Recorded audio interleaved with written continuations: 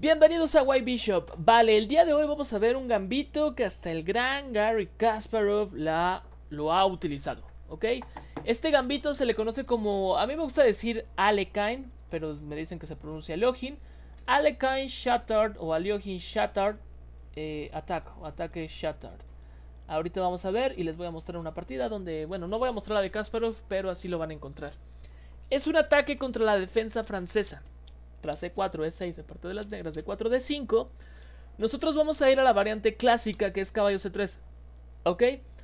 Obviamente este gambito no va a funcionar en caso de que nuestro rival nos haga una Winnower, la cual se da tras alfil B4, clavando el caballo. Esto únicamente va a funcionar contra la variante clásica que es caballo F6. Otra opción que nos pueden jugar es la captura en E4, lo cual es la variante Rubinstein. Y si vamos a jugar caballo C3 tenemos que estar preparados contra estas tres respuestas, ¿ok? Entonces, bueno, tras caballo F6 lo que vamos a hacer es alfil G5, variante clásica. Una vez más, nuestro oponente puede transponer a la variante Rubinstein, ya que tras la captura puede ir a una variante clásica, una variante burn, una vez que capturemos, y demás líneas dentro de la francesa. Pero este gambito se da una vez que nuestro oponente hace alfil E7, nosotros hacemos E5, que es la variante clásica, la línea principal, y tras caballo f 7 vamos a hacer H4. Les voy a demostrar en la base de datos de Liches, en la base de datos en vivo, quién ha utilizado este gambito. Kasparov contra Korshnoy. Francisco Vallejo Pons. Grishchuk. Vallejo Pons. Bashir Lagrave o BLM. Morosevic. Yu. O sea, es un gambito que los grandes maestros utilizan. Entonces, les voy a mostrar las respuestas principales en este video. No voy a hacer varios videos. Y si les gusta la serie de gambitos, no dejen dejar, no olviden dejar su like. Y una vez que llegamos a los 60 likes en este video, subimos el siguiente gambito que también utilicen los grandes maestros. Primero vamos a ver, esta partida es de Tartakower contra Lasker. Se captura en G5. Y nuestra idea en este gambito va a ser lanzar un ataque rápidamente en el flanco de rey que nuestro oponente no puede enrocar. Y desarrollarnos. Ok, una vez que la dama se, se encuentra en G5, vamos a hacer caballo H3. Y pueden decir, oye, pero no mandas a los caballos a las orillas porque nada más controla dos casillas y en el centro está mejor porque controla pues muchas más casillas, ¿no? Por ejemplo, controlaría esto un caballo en F3. Sí, pero en este gambito lo que nos importa es ganar espacio en el flanco de rey porque va a ser nuestro ataque. En esta partida se hizo dama H6 tras caballo G3, este caballo H3. Y se continuó con G3 preparando F4. A6 evitando alfil B5, que es una jugada muy importante, esta clavada del alfil F4. Ok, se hizo C5 atacando en D4, obviamente se continuó con la jugada alfil D3. Y aquí les voy a mostrar, se hizo G6 evitando ataque en H7. Les voy a mostrar cómo ni siquiera necesitaríamos capturar la dama. Ok, tras el enroque, digamos, de parte de nuestro rival. Tenemos caballo F2. Ajá. Y esto la dama se tiene que entregar. Pero si la dama trata de salvarse, tu oponente es medio torpe o nuevo, o simplemente no ve la jugada y hace dama F6, ni siquiera necesitas capturar a la dama. Con hacer alfil por H7 hay un mate en 5. ¿Ok?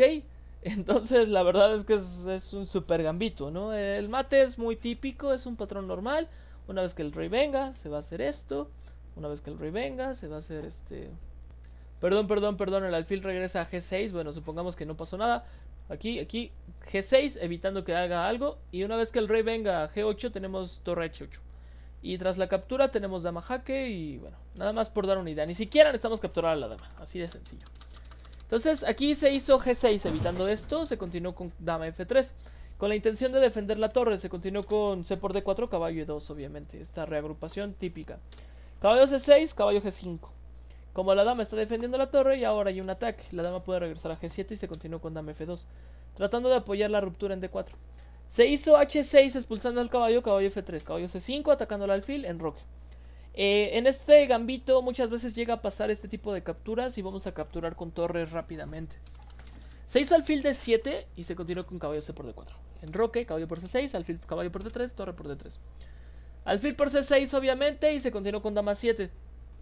Ok, este, por mostrarles las partidas rápido y diferentes líneas, porque también hay muchas ideas en este gambito como el Rook Lift de la torre en H4 y demás incursiones de ataque rápido, este, no voy a explicar mucho las siguientes jugadas. Se continuó con rey C7.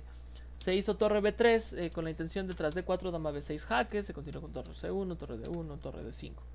Ok, torre por D4, torre HD8, torre por D5, torre eh, alfil por D5, torre C3 jaque. Se hizo rey D7, se continuó con caballo D4. Ok, se hizo dama F8 tratando de evitar que la dama llegue a D6 y algún jaque fuerte por aquí. Se hizo torre C7. Rey E8 y se continuó con C4.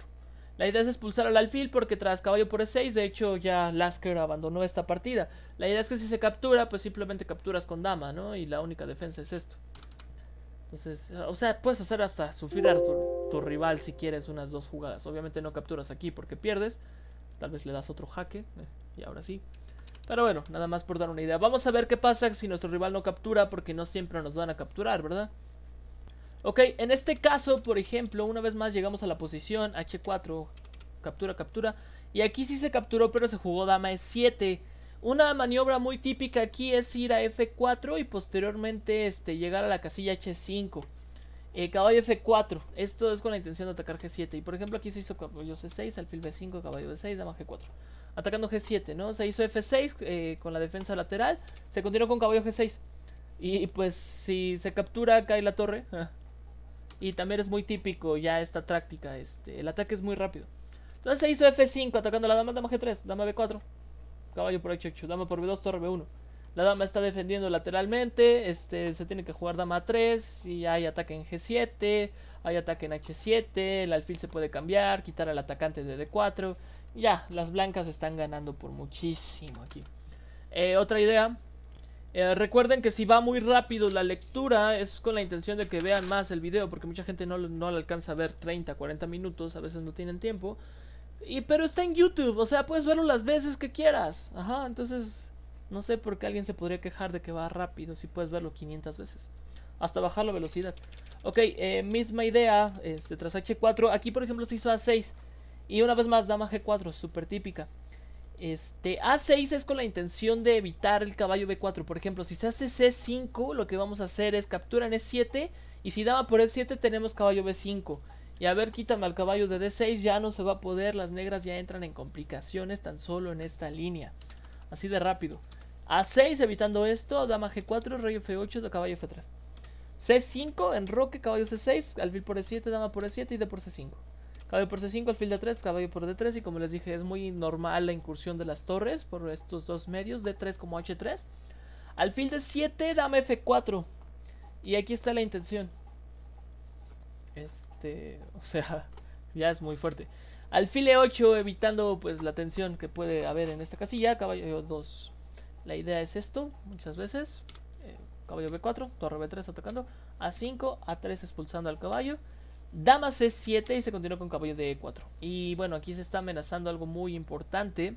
Este caballo defiende la amenaza de mate que tenían la dama y, el caballo. Pero tras caballo A6, caballo por E6, que la jugada que no vieron las negras fue que pierden a su dama. Listo, última línea. Este, aquí es lo que les decía, cuando se juega C5.